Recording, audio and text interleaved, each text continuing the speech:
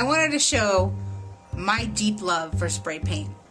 A can of spray paint at a hardware store is 99 cents, and it goes a long way. This is a cheap dollar store Christmas tree we spray painted black to look like that. Our chalkboard was a thrift store find for a dollar. It was from this gold to that feather duster. From this paint spray painted to this less than a dollar.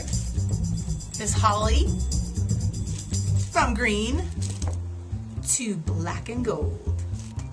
From a regular jug of soda to a buoy. Who knew?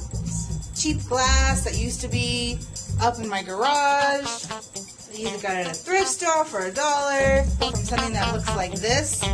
Yuck. Do that! Voila! Now they're all black and cool. Used to be candy apple red and they look kind of country looking, but now they totally go with our theme of masquerade. You're gonna miss some spots sometimes. It's okay.